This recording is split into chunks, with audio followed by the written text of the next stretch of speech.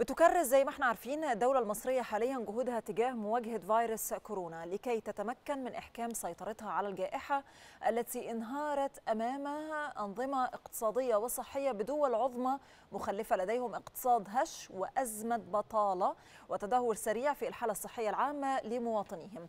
ولكن بتعمل أجهزة الدولة المصرية على مدار الساعة للسيطرة على الفيروس التاجي فيروس كورونا. سواء كنا بنتحدث على مستوى التزام جميع المواطنين باتباع الإجراءات الإحترازية في حياتهم اليومية لتحقيق التعايش مع الفيروس واستمرار عجلة الإنتاج. وفي ذات الوقت بنتحدث على العمل على الإسراع بتطوير حلول مبتكرة للحد من انتشار الفيروس. يمكن كان من أهم تلك المبادرات والمشروعات الرائدة في هذا المشروع التي بدأته جامعة المنصورة هذا الأسبوع لتصنيع بوابات التعقيم الذاتي الإلكترونية والتي سيتم نشرها على بوابات الكليات والمستشفيات والمراكز الطبية. بتضم المرحلة الأولى من هذا المشروع 50 بوابة تعقيم ذاتي إلكترونية. بيأتي ذلك في إطار الإجراءات التي تتخذها الجامعة طبعا تنفيذا لتوجيهات الدولة بكافة قطاعاتها بتطبيق خطة التعايش مع فيروس كورونا ودعم كافة الإجراءات الاحترازية لمقاومة عدوى انتشار فيروس كورونا المستجد والتي من بينها عمل تعقيم ذاتي لأعضاء هيئة التدريس والعاملين والطلاب والأشخاص المترددين على الكليات والمستشفيات والمراكز الطبية. طيب خلينا نعرف تفاصيل أكتر عن هذا الموضوع وعن هذا المشروع تحديدا. بينضم إلينا عبر الهاتف رئيس جامعة المنصورة الدكتور أشرف عبد الباسط. دكتور أشرف أهلا بحضرتك يا فندم. أهلا بك يا فندم مساء الخير. أهلا وسهلا. مساء النور. يا ريت حضرتك يعني في البداية تعرفنا تفاصيل أكتر عن بوابات التعقيم الذاتي الإلكترونية الجديدة سواء كان من حيث مواصفاتها وتطويرها داخل الجامعة بشكل كامل أو متى سيتم العمل بها وكيف أو آلية العمل بها. اتفضل. هو زي ما حضرتك بتقولي إن توجه الدولة كلها يعني إحنا كل الهيئات وكل الوزارات أو كل العاملين يعني إن إحنا نحاول أن نحافظ على سلامة المواطنين. وفي نفس الوقت اللي إحنا نحاول يعني أن نرفع عن كاهل الدولة قدر الإمكان يعني ونساعد كلنا كأفراد في مواجهة هذه الجائحة وكمؤسسات هي نعم. الفكرة طبعا يعني قصه ممرات التعقيم أو مواد التعقيم الذاتية يعني إن وزارة التعليم العالي في الأول كانت تبنت من خلال يعني إحدى المصانع كانت قدمت هدايا للوزارة والوزارة يعني مع الوزير كان موزع على كل الجامعات كل يعني مجموعة من البوابات. وبعدين جت فكرة عند أحد العاملين عندنا في الجامعة إن هو ممكن يصنع هذه البوابة يعني داخل الجامعة كلها بمنتجات ويعني حاجات موجودة في السوق المصري والفكرة دي تبناها اولا قطاع الدراسات العليا الموجود باعتبار إحنا عندنا مكتب لدعم الابتكارات فتقدم له دعم وتقدمت الفكرة دي فعلا للحصول على براءة الاختراع من الأكاديمية البحثيه.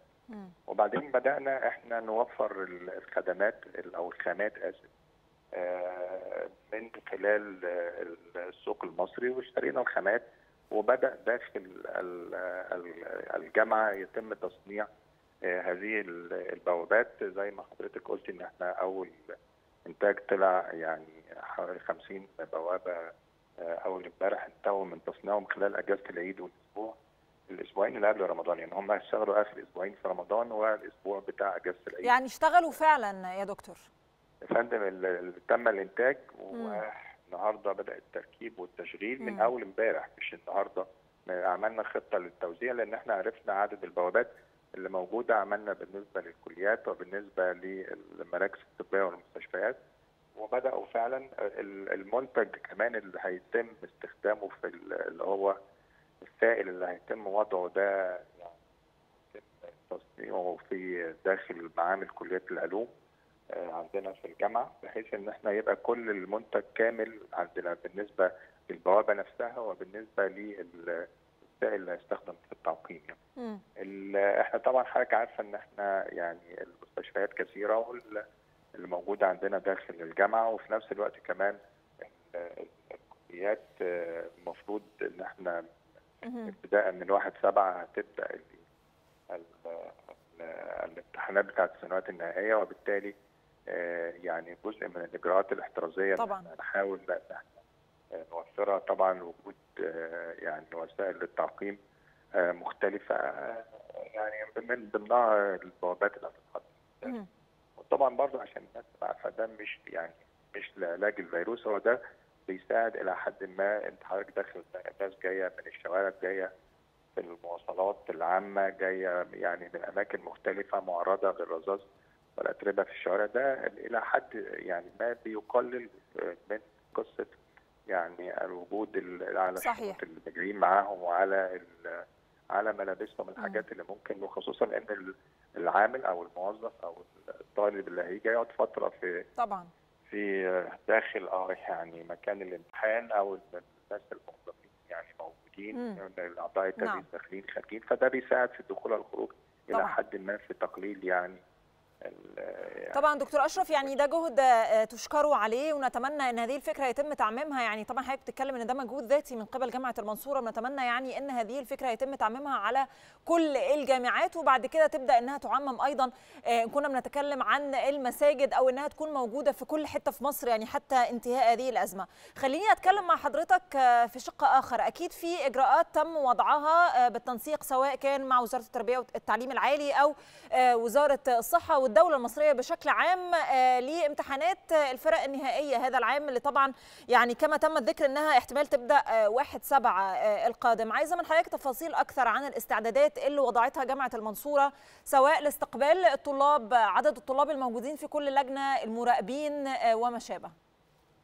هو يعني إحنا في المجلس الأعلى للجامعات السابق يعني آه، تم مناقشة ال- الإجراءات اللي إحنا آه، يعني كل الجامعات هت هتستخ يعني هت هتراعيها طبعا حضرتك يعني هو سلامة ال يعني هي سياسة الدولة كلها كده يعني طبعاً. سلامة ال- ال- المواطن في المقام الأول ثم مصالح الدولة آه، جنبا إلى جنب مع آه، مع سلامة المواطن فإحنا طبعا حضرتك المنسوب الجامعة سواء كان طالب أو عضو هيئة تدريس أو موظف جاي عشان آه، يراقب أو آه، يعني أماكن. كل الكلام ده آه، تم مناقشة ال- الإجراءات اللي هيتم اتخاذها. إيه؟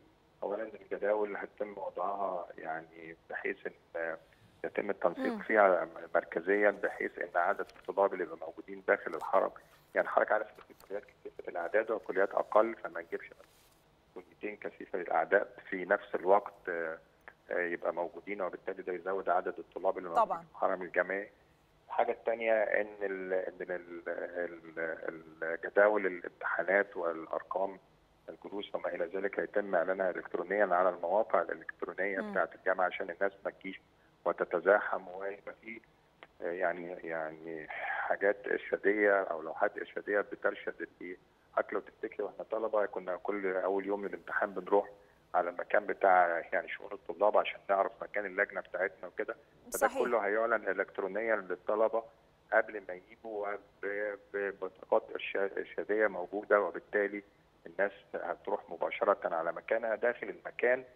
آه، الكمامات هتتوزع على الطلبة والعاملين آه، وأعضاء التدريس وهم داخلين ال- البوابات الناس هتعدي منهم. داخل يعني هتتعمل ال- المسافات على الاقل متر ونص آه، إلى مترين داخل يعني المسافات اللي موجودة داخل نعم. قاعات ال- ال- الامتحان. المفروض طبعا إن الامتحان يتم على فترة واحدة قدر الإمكان ولو اضطرينا إن إحنا نعمل الفترتين هيتم ترك ساعتين على الأقل بين ال- الفترتين على أساس إن يتم تعقيم الأماكن. لو حصل فترتين امتحان في نفس الوقت اتفقنا كمان حضرتك إن الأوراق الامتحان يعني يتم بعد جمعها من الطلاب في النهاية طبعا مش هيسمح الطلاب إن يحصل تجمع بعد الانتهاء من الامتحان الناس تخلص امتحانها وتمشي الأوراق آه، هيتم الاحتفاظ بها في الكنترول لمدة على الأقل آه، 48 ساعة قبل الإيه.